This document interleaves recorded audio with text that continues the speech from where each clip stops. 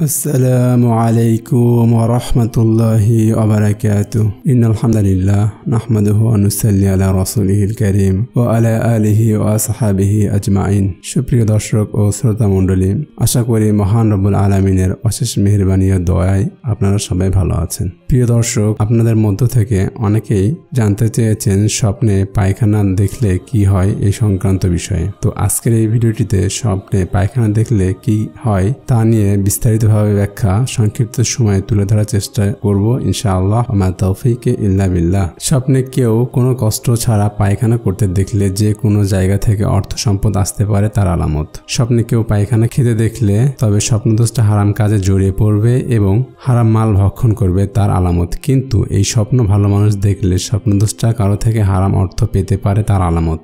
স্বপ্নে কেউ পায়খানার মাঝে গড়াগড়ি করতে দেখলে তবে এটি স্বপ্নদোষটার হাতে অর্থ সম্পদ আসবে কিন্তু তাতে কোনো বরকত থাকবে না।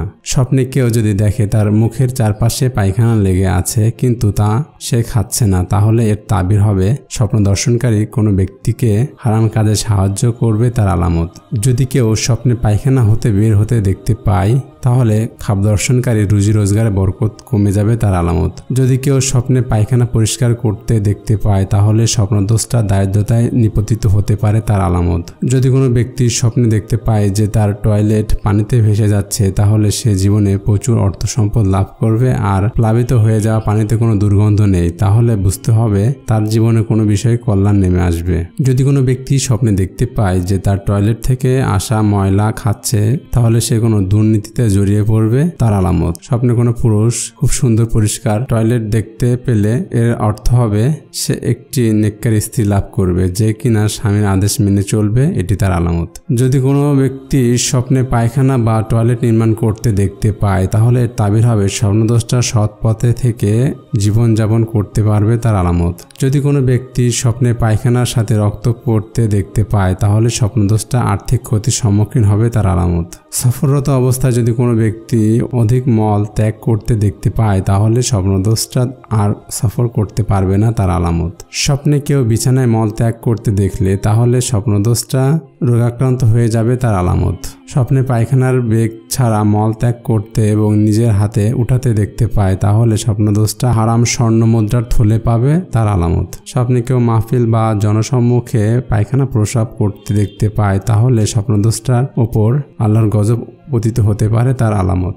যদি কেউ স্বপ্নে দেখে সে প্রসাব করছে, তাহলে সে বিপর্যস্ত চিন্তা ফিকের অবস্থায় থাকলে আল্লাহ তার চিন্তা ভাবনা দূর করে দিবেন। ঋণগ্রস্ত হলে আল্লাহর পক্ষ থেকে পরিশোধের ব্যবস্থা করা হবে, আর ধনী ব্যক্তি হলে কম বেশি প্রসাবের পরিমাণ অনুপাতে তার সম্পদে ঘাটতি দেখা দিবে। হারাম পশুর বীজটা দেখা। এর ব্যাখ্যা সাধারণত হারাম মাল দ্বারা করা হয়। কেউ স্বপ্নে দেখল তার গায়ে বা কাপড়ে হারাম পশুর বিষটা লেগেছে, অথবা সে তার মালিক হয়েছে এবং রক্ষণাবেক্ষণ কাজে রত আছে। তাহলে এটা তার হারাম মাল পাওয়ার অর্থবোধক। কেউ স্বপ্নে দেখল, তার পেট থেকে পায়খানা বের হয়েছে। এর ব্যাখ্যা হবে, নির্গত পায়খানার পরিমাণ অনুপাতে তার হাতের মাল ব্যয় হয়ে যাবে, অথবা তার দ্বারা ক্ষতিকর কোনো কাজ সম্পাদিত হবে। পায়খানা অধিক পরিমাণে বের হয়ে যদি কাদা, বৃষ্টি বা বন্যারূপ ধারণ করছে মর্মে দেখতে পায়, তাহলে এতে কোনো কল্যাণ নেই। কোনো সময় এটা বরং বাদশাহ কিংবা শাসক গোষ্ঠীর পক্ষ থেকে সৃষ্ট ভীতির অর্থ প্রকাশ করে। সকলের সুস্বাস্থ্য কামনা করে আজকের মতো বিদায়। আল্লাহ হাফেজ। আসসালামু আলাইকুম ওরহমতুল্লাহি আবরাকাতু